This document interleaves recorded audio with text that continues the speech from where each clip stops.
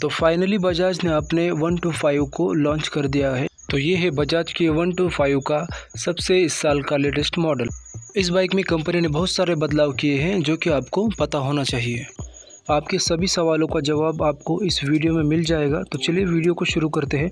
Video शुरू करने से पहले अगर आप चैनल पर नए हो तो चैनल को सब्सक्राइब कर देना और वीडियो अगर आपको पसंद आए तो वीडियो को प्लीज़ लाइक कर दें ये बाइक आपको देखने में बिल्कुल 150 की तरह ही लगने वाली है। इसमें जो स्टिकर लगे हुए हैं, जो इसको ग्राफिक कंपनी ने दे रखा है, वो सेम आपको 150 की तरह ही आपको इसमें मिल जाने वाला है।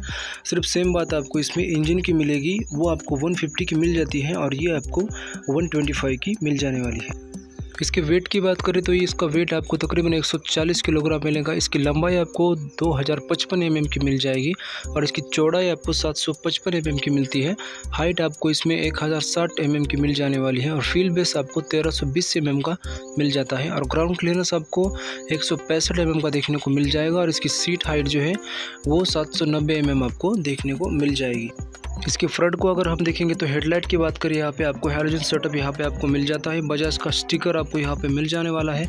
और वाइज़र जो इसमें मिल जाते हैं, जो half transparent plan black colour में आपको ये मिल जाते हैं।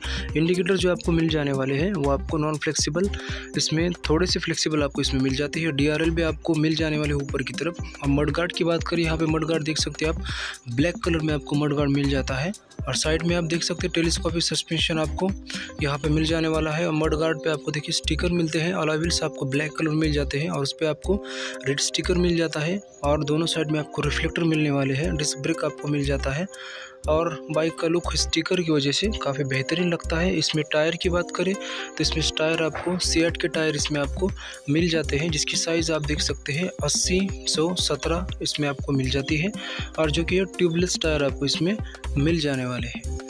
और इसके सामने आप देख सकते हैं, जो टैंक दिया हुआ है, टैंक के ऊपर आपको थ्री में आपको पल्सर यहाँ लिखा हुआ मिल जाएगा। और जो उसके टैंक जो दिया हुआ है, वो मेटल में आपको मिल जाता है, जो कि डेढ़ सौ सी वाली बाइक में आपको मिल जाता था।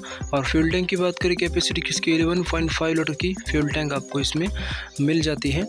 अगर इसमें इंजन की बात करें एक सौ चौबीस पॉइंट चार सी का single cylinder air cooled, four stroke, two valve D technology वाला एक इंजन आपको इसमें मिल जाता है।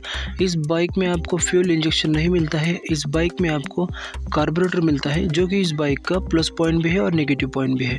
इसकी पावर की बात की जाए तो इसमें eleven point sixty four B H P जो कि आठ सौ आर पी एम पर, जिसका टॉर्क है ten point eight newton metre at six thousand five hundred R P M पर ये इंजन आपको पावर प्रोवाइड करता है।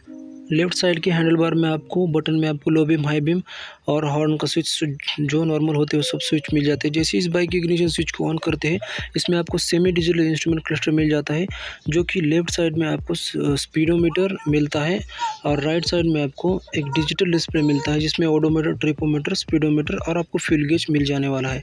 और राइट साइड में आपको इंजन ऑन ऑफ़ स्विच मिल जाता है टैंक का।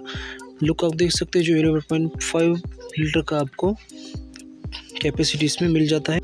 सीट का लुक आप देख सकते हैं, जो स्प्लिट सीट में ये बाइक आपको मिल जाती है, जो कि इसका कलर आप देख सकते हैं, जो काफ़ी बेहतरीन तरीके से कंपनी ने प्रोवाइड करके दिया है। क्रैश गार्ड आपको जो कंपनी फिटेड यहाँ पे मिल जाता है 125 के यहाँ पे स्टिकर आपको मिल जाता है।